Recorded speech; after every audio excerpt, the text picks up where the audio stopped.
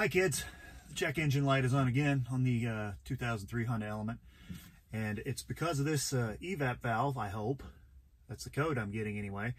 So I'm going to replace it. There's a lot of videos on uh, YouTube showing you information about this valve but really nothing showing you how to replace it. So we're going to cover that step by step. Hey Diesel what are you doing? Start off by putting this on a set of ramps if you don't have any ramps, you can actually do this job without them if you're skinny enough. I think since I have the ramps, it'll make it a little nicer to have a little headroom and probably get me some better angles with the camera.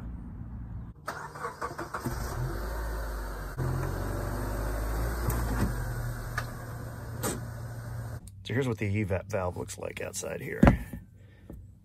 That is the actual valve. It should open and close. There's the electrical connection. There's a hose. There's a hose. It hooks into a charcoal canister underneath the car. It's part of your emissions control system. But you don't have to pull the entire charcoal canister to replace this. I'm going to show you the easy way to do it.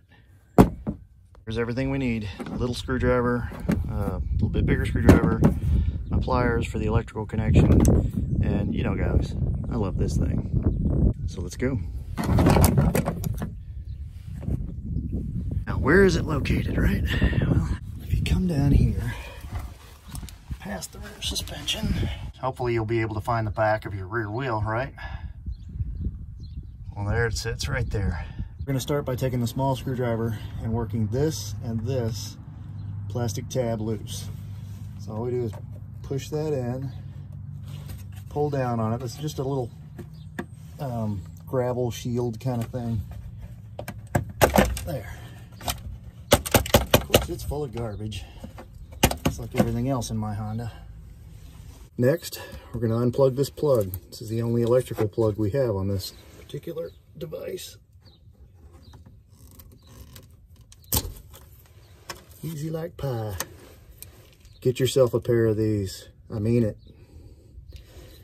Now we have to undo this hose, which just sticks on there. There's not even any clamps that hold it on. All right, right back here, there's a little plastic rivet that holds the backside of this shield to the metal frame that holds your charcoal canister in. Go ahead and take that out and that's gonna give you a whole lot more access to this back hose and everything. There, see? A whole lot more room. now, with that big thing pulled down, take these pliers again and just grab that hose and just wiggle it back and forth till it pops off. Easy, easy like pie, I'm telling you. This is their valve that's going in from the junkyard. There are four of these tabs that hold this valve in. And we're just gonna pull them back and slide this out. And it can be a bit of a trick to get them all worked out at the same time. Trick that I do is go ahead and work your screwdriver under the top one and leave it in there and get another screwdriver or whatever you got, work it under the other one. Leave it in there. Then you can work on these bottom ones, see?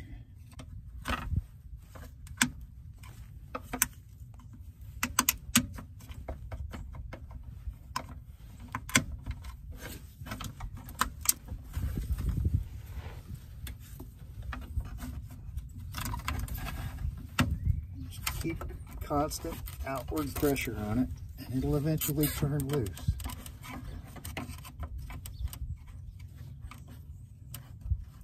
There's only one left holding it in. As soon as I get it going, there we go.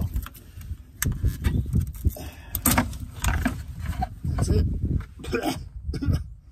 and this new one will make everything better.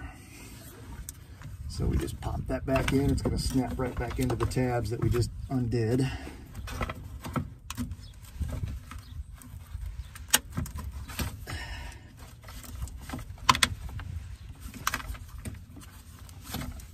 There it goes. There's a, an O-ring on this that you have to make sure is there, in good shape, and reseats back in there.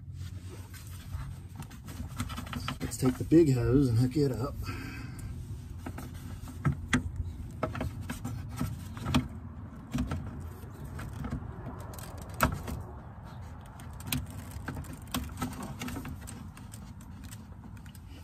Took a small hose back up. Pretty straightforward, right? Now our electrical connection. Let's go ahead and put our plastic rivet back in place.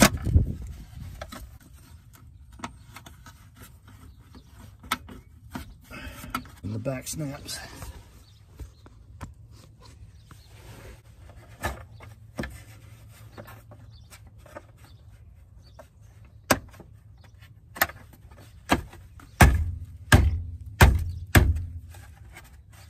That's it, guys.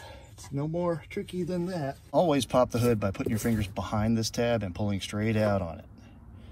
It is not hinged and it will not flip up and you will break it if you try to.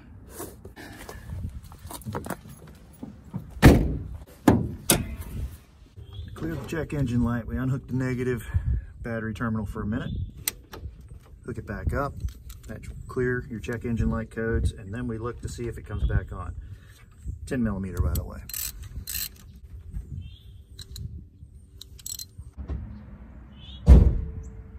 Then we get it down off the ramps. So I hope this video is useful. Hope you go to the junkyard to get your parts. Hope you work on your own vehicle. Hope you make that check engine light stay out. Like and subscribe. See you next time on Scavenger Type.